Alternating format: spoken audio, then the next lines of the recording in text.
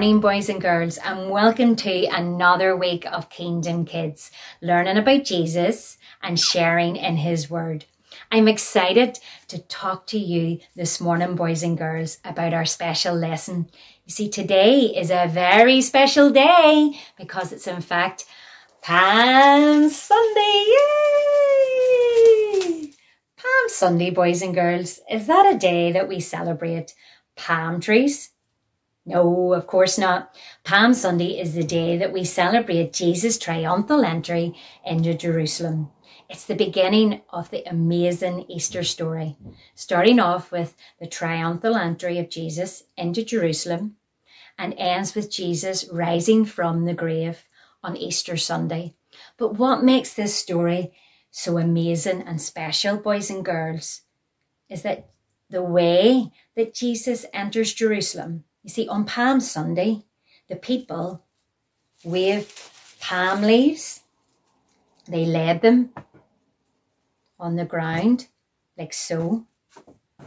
They even laid their coats on the ground, like so, to welcome the King of Kings, who humbly rode into Jerusalem on a donkey.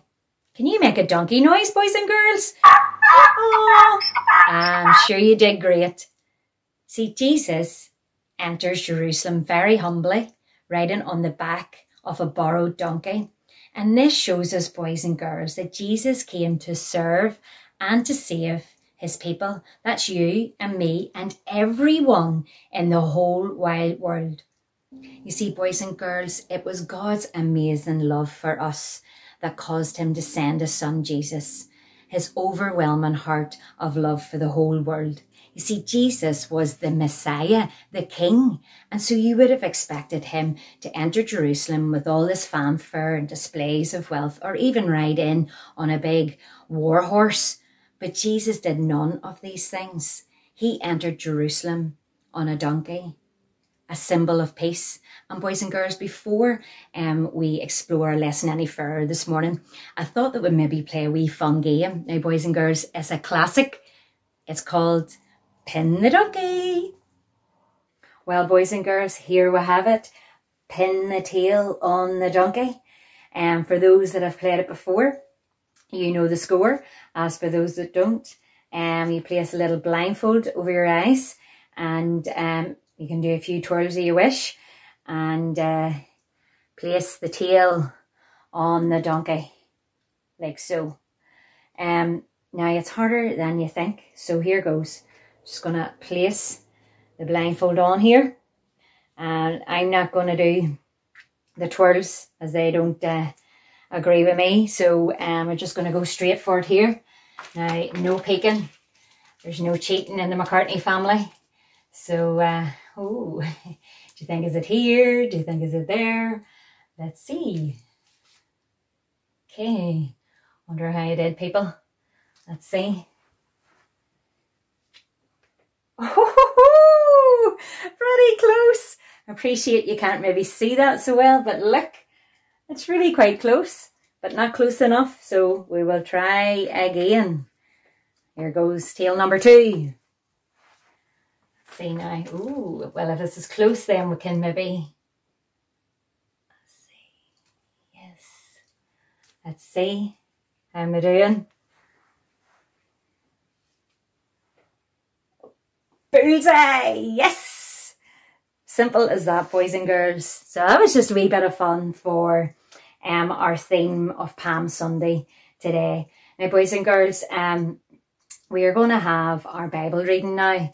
And then, boys and girls, stay with us because I'm going to introduce you to some new friends that I made this week. The reading is found in Matthew 21, verses 1 to 9. Jesus comes to Jerusalem as king. As they approached Jerusalem and came to Bethphage on the Mount of Olives, Jesus sent two disciples, saying to them, Go to the village ahead of you, and at once you will find a donkey tied there with her colt by her. Untie them and bring them to me. If anyone says anything to you, say that the Lord needs them, and he will send them right away. This took place to fulfill what was spoken through the prophet. Say to daughter Zion, See, your king comes to you gentle and riding on a donkey, and on a colt, the foal of a donkey. The disciples went and did as Jesus had instructed them. They brought the donkey and the colt and placed their cloaks on them for Jesus to sit on. A very large crowd spread their cloaks on the road, while others cut branches from the tree and spread them on the road. The crowds then went ahead of him, and those that followed shouted, Hosanna to the Son of David! Blessed is he who comes in the name of the Lord! Hosanna in the highest heaven. Amen. Hi, boys and girls!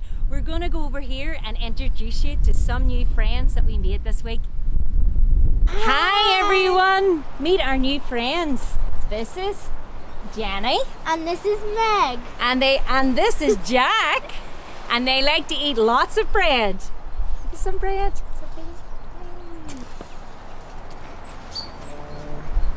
Hi, cute. Come on, Jack. That's it, Jack. It was a parade like no other. Jesus' triumphal entry into Jerusalem was a big deal. Boys and girls, it's like when a queen or a king comes to visit your town and all the streets are lined with people and they roll out the red carpet. In Jesus' day, the streets were lined up and instead of a red carpet in them days, they threw coats on the ground and some palm leaves on the ground, like so. And that showed um, that the people acknowledged Jesus as their king and they waved their palm branches. They waved palm branches and threw them on the ground. Palm branches are a sign of celebration and also a sign of victory. Boys and girls, nobody knew the events that were going to take place that week when Jesus died on the cross on Good Friday and rose from the grave on the Sunday. Jesus' victory over death. And they were singing, Hosanna! Hosanna! And Hosanna simply means save us. And Jesus has saved us, boys and girls, because He died for us and He rose from the grave, making it possible for us to be in heaven with Him forever. Boys and girls, just as the donkey carried Jesus into Jerusalem, if we have Jesus in our hearts, and our lives, we can carry Jesus to our schools, we can carry it to our friends, our family, and even to our cities. What a privilege! What a joy, boys and girls. Carry Jesus wherever you go. Well, boys and girls, our memory verse this week is John chapter 6, verse 29. Jesus answered, God wants you to have faith in the one that he sent. A crowd of people had came to Jesus and they had asked him a very important question. What is God wants us to do? And Jesus answered very simply. He said, God wants you to have faith in the one he sent. Of course, the one he sent was indeed Jesus. And it's so important for us to put our faith in Jesus because He is the only one that God sent. He is the only one who can take away our sin. So let's have a go at memorizing this. John chapter 6, verse 29. Jesus answered, God wants you to have faith in the one He sent. Brilliant. Well done. So we try a few actions with that. Let's see if I can do it. John chapter 6, verse 29. Jesus answered, God wants you to have faith in the one that he sent. Brilliant. Well done. Will you give it one more go? Dare we try it? John chapter 6, verse 29. Jesus answered, God wants you to have faith in the one that he sent. Brilliant. Well done. Keep memorizing. Bye.